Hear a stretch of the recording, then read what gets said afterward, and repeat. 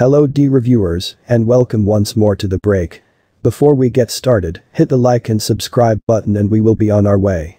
In today's episode, talking on GB News, Meghan Markle's sister Samantha freely griped about the Duchess and blamed her for senior maltreatment considering their dad's stroke.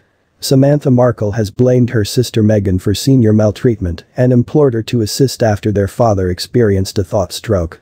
Meghan Markle's alienated sister has requested that her sister quit watching and sitting idle after their dad was hurried to clinic for crisis treatment. The 57-year-old sister asserted Meghan's way of behaving was like senior maltreatment after she was blamed for neglecting to reach her since the news broke of Thomas Markle's chronic infirmity. The 77-year-old father has had a rough relationship with his girl Meghan and frequently talked openly about her.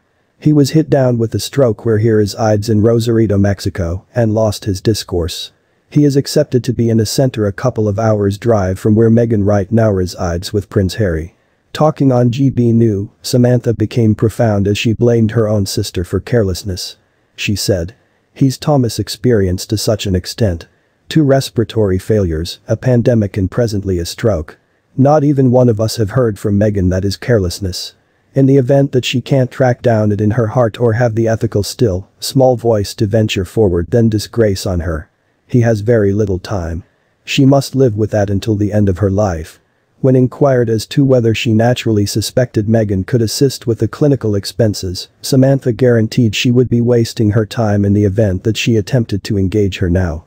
She might have reached him to figure out things whenever and she hasn't. How might she watch him experience like this? That's what who does. Samantha is the most recent of Meghan's relatives after her dad to revolt against the Duchess. She utilized a TV show to go after her sister over such an individual subject freely.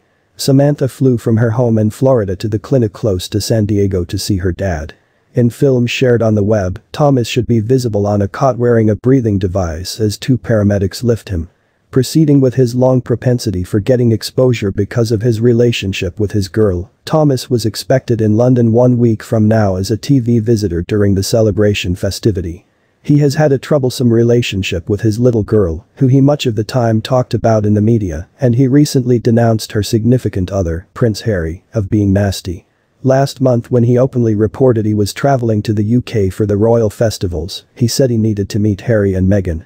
He added he needed to meet Prince Charles and kidded that they had both been ghosted by our own youngsters. If you made it to the end of the video, kindly hit the subscribe button and leave a comment, it helps the channel.